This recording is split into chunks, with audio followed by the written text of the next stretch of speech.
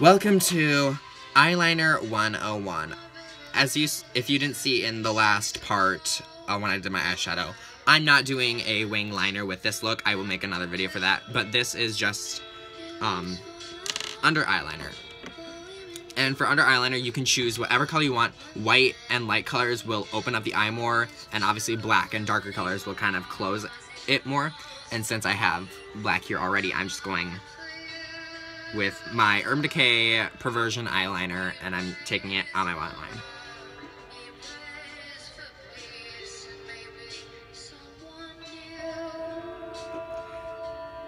What was I gonna say? I was gonna say something. Don't pull your eye. Pulling eye create. Sorry about that. My camera just shut off for some reason. I don't know why. But I was just saying, don't pull your eye because it creates crow's feet, and you don't want that, and you want to be young and beautiful forever. and you can use like a beauty blender just to like kind of lightly tug, just to hold it there. I don't do that because I don't really need to. Because if you, what I do is I angle it up and go right on it. And I open my mouth because I can't do it any other way.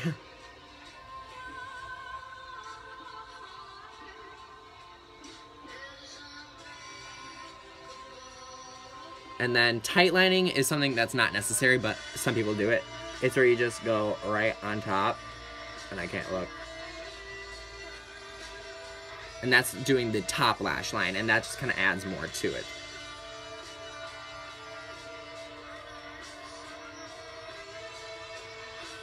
See, you can't really tell that it made a difference. I mean, it did in person, but it's not necessary. So now, um, this is curling lashes. You want to take, well, curling lashes, doing eyelashes themselves. So now this is lashes. Because lashes are... They're fun and difficult, but what I like to do is I like to take my eyelash curler and I curl my lashes first. And if you've never done this, it's, yes, it does look like a medieval torture device, and it kind of is. But this just, if you have lashes that go straight out, this will lift them. It gives you higher lift and ability to do that. I'm adding fake ones to show you how I do that, obviously. Then you just want to take your mascara wand and put that on. If you don't know how to do that, I'm sorry. Here's how you do it. You take it, and you go, I like to blink into the wand. Just because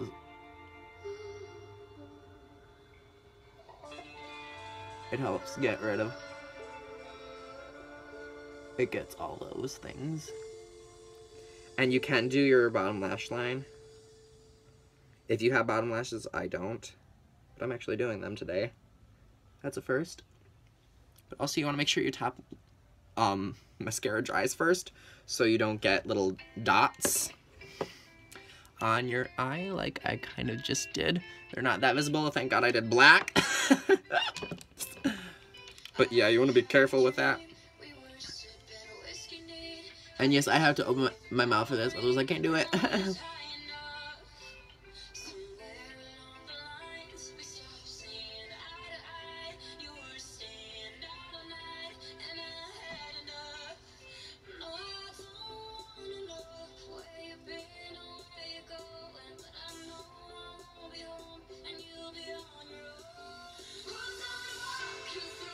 Okay, I'm kind of loving my bottom lashes today. I don't know why.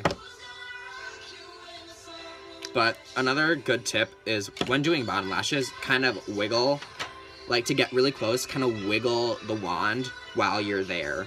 That kind of, that's how you kind of um, get a full, thick lash. Oh, excuse me. That's so not ladylike of me. Um, today I'm using my Eylure London Dramatic Lashes, as they are one of my go-tos. I'm just to clean up here a little bit, since we're not using some of this stuff, and we don't need it anymore. and it's just gonna clog up. Make sure when you're doing your makeup, you, like, clean up as you go, because a lot of times it can create a mess and you just have no room for anything, and it's a real struggle. But I'm using these, and then I'm using Duo Lash Glue. It smells like lobster. Um, then you just want to put it any lash glue you want that works best with you. If you have a latex allergy, don't use this because a lot of them are latex based. You want to just get a tiny little pump out, little bead, and then drag it along the band of the lash. And this is the clear glue. You can also do brown or black. If you're a beginner, I recommend doing the clear because if you make any mistakes with it, it won't show. And I like to just concentrate a little more on the ends of the lash because that helps secure it down more. And then we're gonna do the other one because we have two lashes.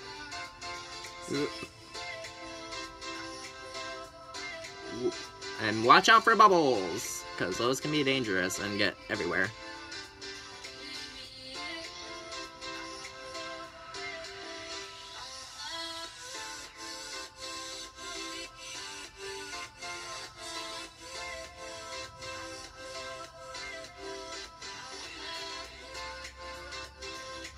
And then you really want to just let those sit for a little bit because if you put a lash on while it's still kind of like wet, it's just gonna mess up your eyeshadow and it doesn't look good. So you really want to wait until the glue starts to get tacky and that's when it'll actually like stick to your eye.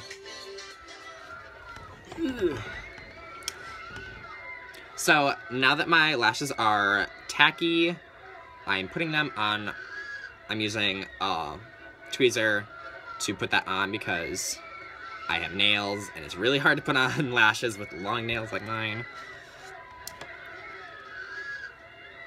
And you'll just kind of put them like on down. It makes it easier.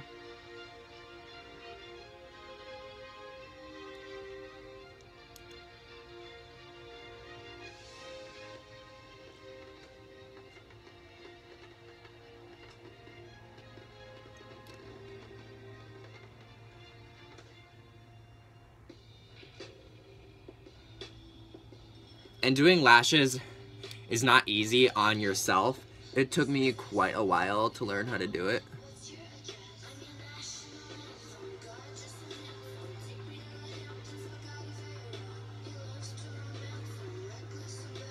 So if you can and have a friend that's good with doing lashes, have them do it.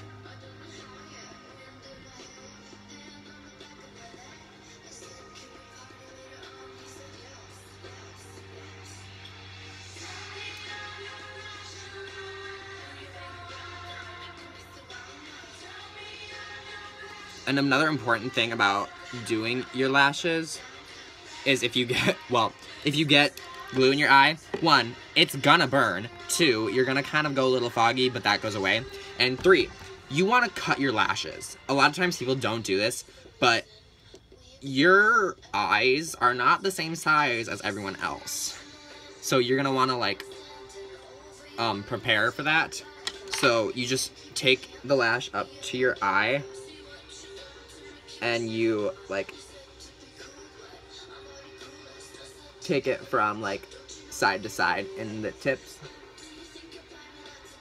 I think I put them on the eye. Yep. I just put my lash on the wrong side. I have I hate my life. I hate my life.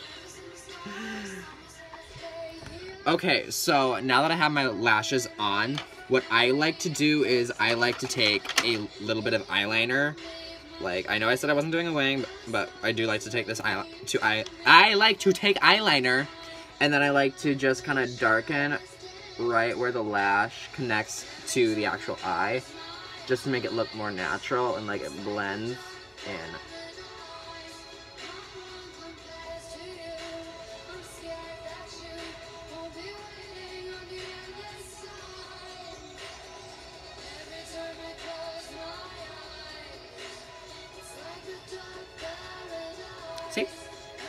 Probably can't tell, but I did.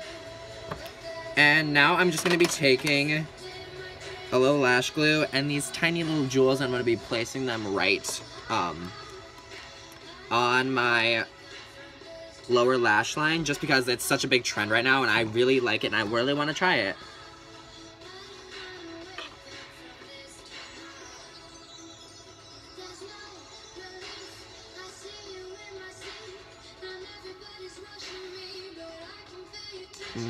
Mirror. I need a closer mirror.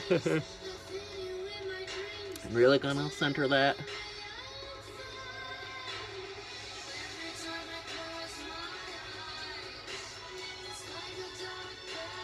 Ooh.